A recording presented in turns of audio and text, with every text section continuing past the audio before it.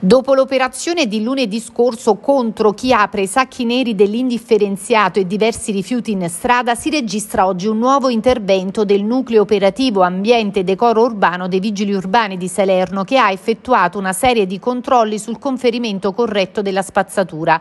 In primo luogo e in coerenza gli accordi intercorsi con l'assessore alla sicurezza di Salerno Claudio Tringali, la polizia, la protezione civile, lo speciale nucleo dei caschi bianchi diretto da Mario Elia e dal comandante comandante Rosario Battipaglia, unitamente ad agenti della Polizia di Stato e coadiuvati da personale della Salerno Pulita, hanno dato luogo ad un servizio dedicato a chi fruga indiscriminatamente tra le buste dei rifiuti indifferenziati e i carrellati, svuotandone il contenuto sui marciapiedi. In particolar modo si tratta di personaggi che cercano rifiuti di natura ferrosa e capi di abbigliamento dismessi che poi selezionano per avviarli alla vendita nei mercati paralleli.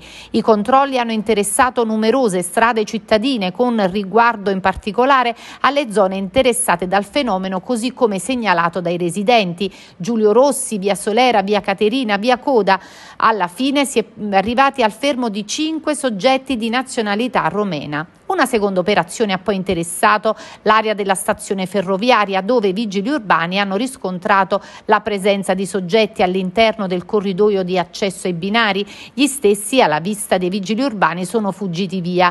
Nel corso dello stesso servizio i vigili hanno anche riscontrato la presenza di una quantità significativa di sacchi di rifiuti depositati da gestori di noti esercizi pubblici tra Piazza della Concordia e lungomare Colombo. I gestori sono stati obbligati al ritiro dei rifiuti per il successivo conferimento.